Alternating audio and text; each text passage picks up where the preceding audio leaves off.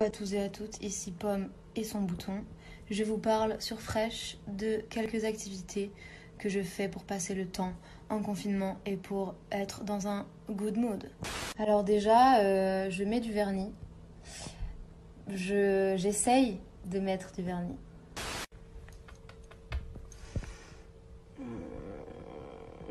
Elle-même. Alors euh, pendant le premier confinement, j'avais lu énormément de BD. En ce moment, je lis ceci, qui est euh, un manifeste afro-féministe en fait.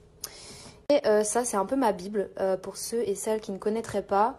C'est euh, un livre qui parle de la place des femmes dans la mythologie. Ça, c'est la base en fait. Mes journées, c'est aussi ça, chanter en faisant des miniatures. Une serre. Et ça, ben, je pars de, rien. Enfin, je pars de morceaux de papier, de morceaux de bois, euh, en kit évidemment, et euh, je fabrique euh, ce genre de choses. Vrai, pour résumer un peu tout ça sans dire trop de bêtises, moi ce qui m'aide c'est d'être créative sans me mettre la pression.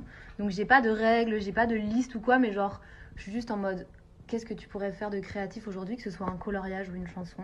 J'essaye de hum, pas aller trop trop trop sur les réseaux sociaux. J'essaie de me faire des bons repas, des bons lattés au lait d'avoine. Et puis voilà, je vous embrasse tous.